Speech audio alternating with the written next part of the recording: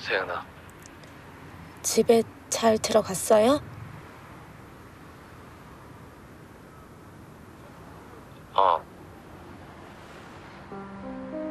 내 의심이 결국 거짓말을 만들어내고 말았다. 미안하다고.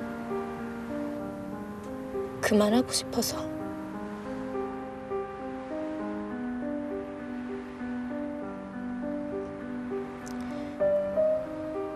잘 자요, 오빠.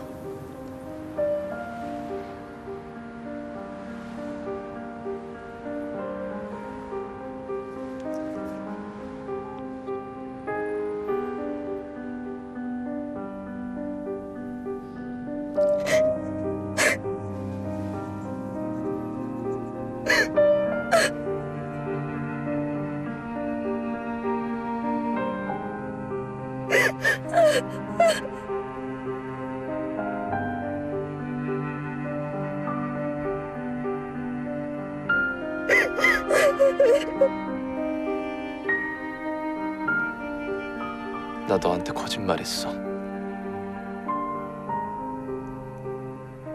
어제